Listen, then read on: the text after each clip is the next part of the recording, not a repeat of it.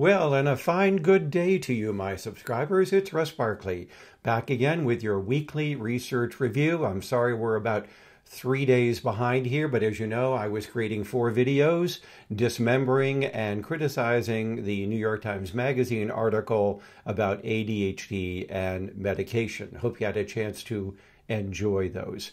Uh, but today, which happens to be Tuesday, uh, we're going to start again as usual with some dad jokes. These come to us from the website thepioneerwoman.com. Imagine, I'd really never heard of it till I'd Googled dad jokes, but here we go. They're they're pretty good. A, a bit sexist in some cases, but that's the way it goes. Uh, let me try to shut down a few of these ads, which we all find so bothersome. Okay, here we go. How do you stop a bull from charging? You cancel its credit card.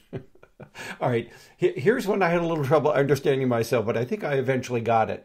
Am I the only man my wife has ever dated? Unfortunately, yes. She said the others were all nines and tens. Mm, kind of a stretch there, but uh, here's a funny one for you parents out there. What's the difference between a man's wallet before and after kids? There are pictures where the money used to be. All right, one last one. Uh, and oh, don't yell at the messenger here. I'm just passing this along. But here's your fourth and final joke. I haven't spoken to my wife in four years. I thought it would be rude to interrupt her. All right, let's move on quick before I get shot. We've got six articles to talk about this morning, uh, a little bit more than before because I waited so long to get this research review done. But here we go. The first one actually comes to us from my good friend Brooke Molina, who is at the University of Pittsburgh and Western Psychiatric Institute.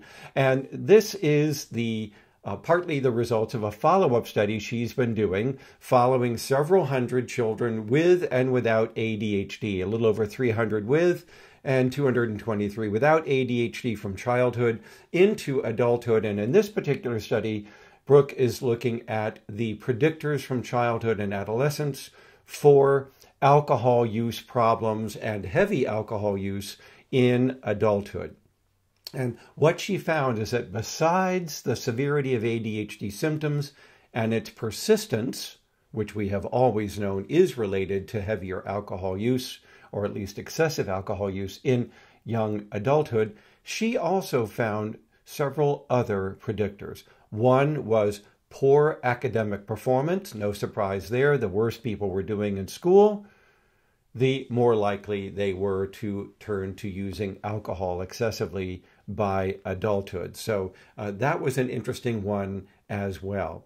Uh, she also found that the degree of social support and impairment experienced across the longitudinal study also was a predictor. So the more socially impaired an individual was, and the more poorly they did in school, particularly in their ultimate educational attainment, the greater was the likelihood that they would turn to heavier or excessive alcohol use by adulthood.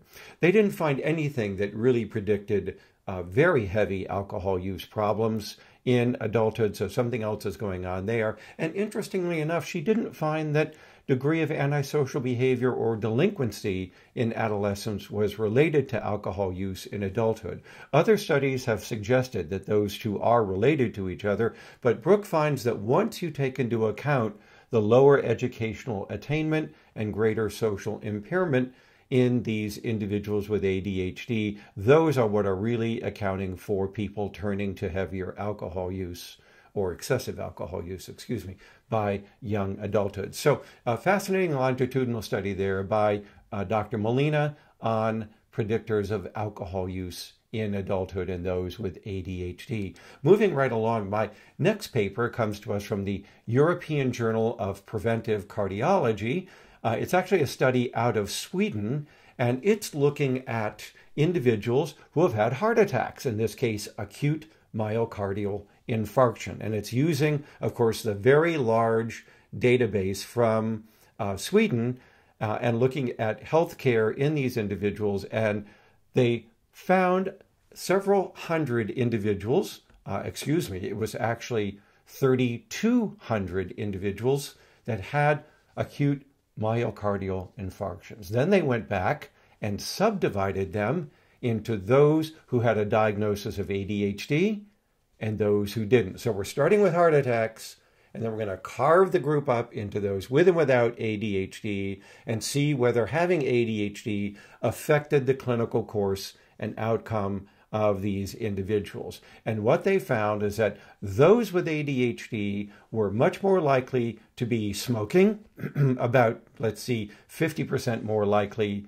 to be smoking. They also found that they had other substance use difficulties uh, and that these individuals found it harder to quit smoking, also did not participate in follow up evaluations reliably, no surprise there, uh, and that the individuals with ADHD had a higher rate of all cause mortality following their first heart attack. They didn't necessarily have a higher rate of subsequent heart attack, they just had a higher rate of all cause mortality. Well, we know that already if you've been listening to other videos on this channel, that adult ADHD predisposes to a greater risk of early mortality, primarily related to the impulsivity that leads to risk taking, accidental injuries, possibly suicide attempts, and so on. So, again, this study kind of, I think, repeats or replicates earlier evidence about all cause mortality, but it shows us that someone with ADHD who has a heart attack is going to have a more difficult time following the heart attack with quitting smoking, adhering to recommendations for treatment plans, and follow up evaluations. Okay, thought you might be interested in that one. Our next paper up, uh, excuse me, is going to be on sex differences in ADHD. And this comes to us from a population in Spain. And this is a study that compares a large sample of adults with ADHD comparing men versus women in their outcomes. Now, the study hasn't been published yet, but it will eventually be over in the journal European Psychiatry. And what they found in comparing these 900 adults diagnosed with ADHD based on their sex is that the females with ADHD reported significantly greater problems with ADHD itself. They had higher levels of depression, greater levels of anxiety, a lower level of substance use than the males, and overall poorer psychosocial functioning. This kind of reiterates what people have been suggesting in earlier studies of girls and women have suggested that women are more impaired by ADHD even if they are at the same level of severity of ADHD. But this study suggests that they may even be more severe in their ADHD, at least within the Spanish population. Now, I didn't see anything here about criminal activity or other risk taking behaviors such as driving and so on, where we know that males with, uh, with ADHD engage in those activities more than females do. But it does suggest, or at least reiterate what we had seen in US studies, which is that women with ADHD had more depression and more anxiety, but weren't using substances to the degree that the men were. But overall, poor psychosocial functioning. So, uh, women with ADHD are clearly impaired and may even be in certain areas more impaired and have mo- more comorbidity for anxiety and depression. Okay, next up, we're going to be exploring the shared genetic basis between ADHD and obstructive sleep apnea. Now, as you know from my earlier videos, ADHD is associated with a variety of sleeping difficulties in children and adults. And one of those sleeping difficulties that we see more often is obstructive sleep apnea. And so here we have a study looking at the genetics of both disorders. And it's using two databases of tens of thousands of individuals. I'm just going to scan down here and read this to you because we're looking at data with regard to ADHD on nearly 39,000 individuals with ADHD compared to about 187,000 controls. And when it comes to sleep apnea, they're going to be looking at the genome scans of nearly 44,000 individuals. and over 367,000 controls. So, some very big databases being used here, and they're looking at the risk genes that may be shared between these two disorders. And what do they find?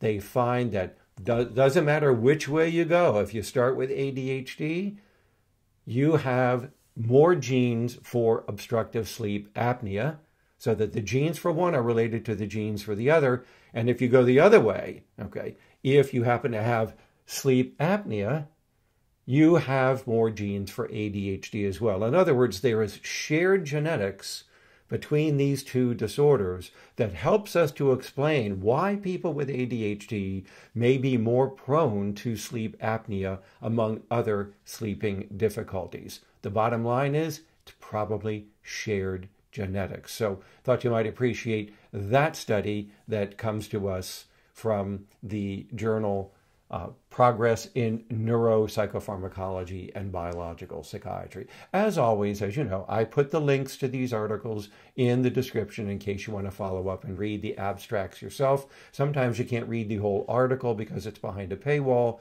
but you can at least find the paper and its abstract. Okay, next up is an interesting study that comes to us, this one out of China and it's a randomized trial assigning teens with ADHD to either an exercise program or to simply being followed up over a 12 week period of time. This comes to us from the International Journal of Behavioral Nutrition and Physical Activity. So these authors took 88 teens with ADHD, split them into two groups, and one group got an hour a week of aerobic exercise for 12 weeks, and the other was simply followed up over time. So, a no treatment control group, if you will. And the authors found that those who had the exercise group were significantly better and more improved in areas of depression, anxiety, stress, and even in inhibitory control. Interestingly, there were no differences between the groups in levels of subsequent aggression. They also found that the group that had the exercise program showed higher ratings of resilience, psychological resilience, than the control group did, but that didn't last through the follow up period. So, overall, yet one more study suggesting that physical activity done on a regular basis is beneficial for people in coping with their ADHD and related disorders. So, nice paper there as well. My final paper is going to be in my PDF over here. So, let me just bring this up and expand it for you. This is a meta analysis looking at the retinal structure in the eye of people with neurodevelopmental disorders, specifically ADHD and autism. And they're looking at studies that were done that use optical coherence tomography, kind of a CT scan of the eye, and they're going to look at the thickness of the macular layer in the retina. They're also going to be looking at the uh, thickness of the optic nerve fibers and the ganglion cell layers in the eye. So I know it's getting rather technical, but I still find it fascinating. Uh, the results that they found seven studies were included in the meta analysis, including more than 285 individuals with ADHD, 340 individuals with autism spectrum disorder, and 650 typically developing control individuals. And what they found in their meta analysis is that those with ADHD had more thinning of their retinal nerve fiber layer and had less uh, thickness of their ganglion cell layer. So let me just double check that to be sure. Yep, that's what they found. So, uh, in any case, that was compared to the TDCs, the typical developing individuals. They did find that those with ASD also had some thinning of their retinal nerve fiber, but no other differences. And neither group seemed to have any problems with macular thickness. So, yet another paper showing that there are problems uh, with not just vision, but in this case, with the retinal structure in those with ADHD compared to a typically developing control group. All right, everybody, that's your research for the week. Sorry I was a bit late, but I was tied up with other matters trying to address the propaganda from the New York Times Magazine. Uh, so please forgive me for that. I'll try to get back on time this week with our research reviews. As always, thanks for joining me for this week's research roundup. As I often say, live well, be well, take care, and bye for now. Thanks, everybody.